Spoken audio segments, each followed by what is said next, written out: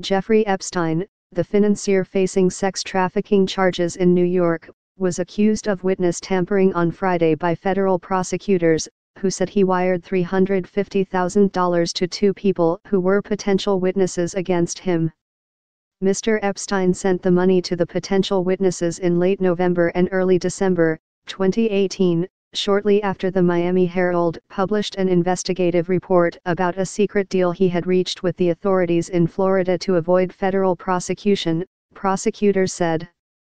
The United States Attorney's Office in Manhattan made the new allegations in a court filing asking that Mr. Epstein be denied bail while he awaits trial, saying the payments were evidence that he might try to influence witnesses if he were not detained. Mr. Epstein's lawyers maintain their client has lived a law-abiding life for the past 14 years, since he pleaded guilty to state prostitution charges in Florida and served 13 months in jail. He has pleaded not guilty to the charges in New York.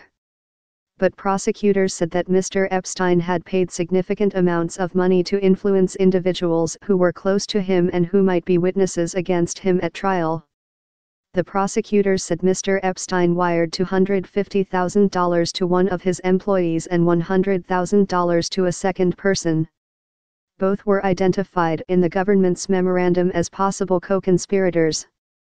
The payments and their timing, the prosecutors wrote, suggests Mr. Epstein was trying to influence co-conspirators who might provide information against him in light of the allegations in the Miami Herald series. Mr. Epstein, 66, was arrested on Saturday when his private jet landed at Teterboro Airport in New Jersey after a flight from Paris. He was charged with sex trafficking and conspiracy in an indictment unsealed on Monday by the office of Geoffrey S. Berman, the United States Attorney in Manhattan. The indictment said that between 2002 and 2005, Mr. Epstein and his employees paid dozens of underage girls to engage in sex acts with him at his homes in Manhattan and Palm Beach, Florida. Mr. Epstein is also accused in the indictment of encouraging some of his victims to recruit other underage girls for him to abuse. Prosecutors said he paid his victim recruiters hundreds of dollars for each girl they brought him.